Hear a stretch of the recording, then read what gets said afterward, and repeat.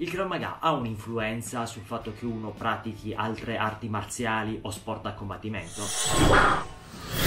Detta in modo molto semplice, il fatto di fare Krav Maga interferisce con l'apprendimento di altri sistemi oppure il fatto di eh, aver fatto altri sistemi interferisce con l'apprendimento del Krav Maga? Risposta breve, no.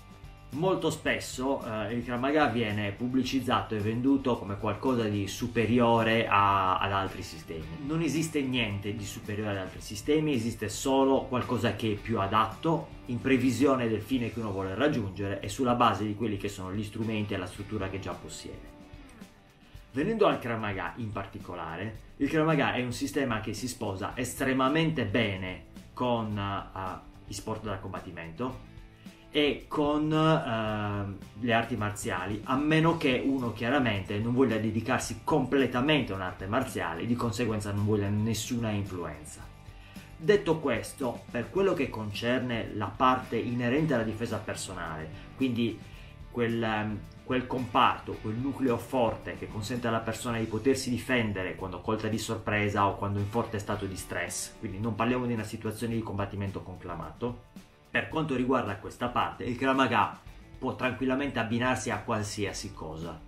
Perché? Perché il sistema di, di, difesa è progettato per agganciarsi quanto più vicino possibile a quelle che sono le reazioni naturali. Un sistema di combattimento invece evoluto, un'arte marziale o, o anche un sistema di combattimento sportivo sono agganciati a un sistema di stress diciamo minore controllato, in parte perché chiaramente la pratica marziale, così come gli sport da combattimento, forse in modo un po' più accentuato chiaramente, e abituano la persona a gestire da subito lo stress del combattimento uno a uno e in parte perché il combattimento di per sé è un qualcosa di sofisticato, non è qualcosa di naturale. Colpire con i pugni, colpire con le mani, calciare in modo efficace è qualcosa che va appreso. Per cui il Kramaga, se immaginiamo una linea che ha a che fare con la, proprio, il proprio grado di sorpresa e la diciamo, minore sofisticazione delle tecniche, si aggancia molto molto in alto, molto vicino a quelle che sono le reazioni automatiche di difesa e protezione.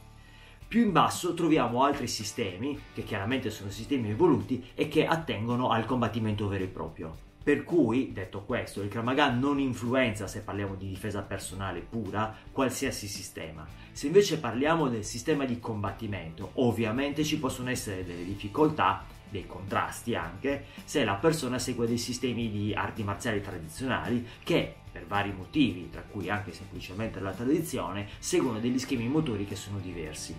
Il Kramaga da questo punto di vista è molto più simile a sistemi di combattimento sportivo e se volessimo proprio fare una, un, diciamo, un paragone, è molto più vicino all'MMA come concetto e come biomeccanica. È ovvio che se consideriamo un combattimento che ipoteticamente senza protezioni, senza regole, molte cose vanno adattate e altre, considerando anche quella che potrebbe essere la realtà di uno scontro eh, appunto diciamo per strada, io detesto questo termine ma al momento non è uno migliore, chiaramente alcune cose sono molto meno plausibili.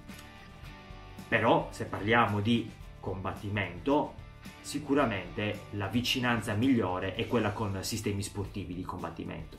Considera infatti che il Krav Maga come derivazione, come radice da parte del suo fondatore, ha la box, perché Imi era un boxer, Imi Lichtenfeld è il fondatore del Krav Maga, quello che viene considerato il fondatore del Krav Maga. Imi Lichtenfeld era un boxer, era un lottatore, agonista nell'uno e nell'altro, era un ginnasta, quindi una persona che sapeva bene come muovere il proprio corpo ed era una persona che aveva una certa conoscenza di eh, jiu-jitsu giapponese per quello che gli aveva insegnato il padre, che era un noto poliziotto, un noto a dire il vero e ben rispettato poliziotto. Più due anni circa di combattimenti reali per strada, risse a mano nuda, con delle armi in gioco, uno contro uno, alle volte gruppo contro gruppo.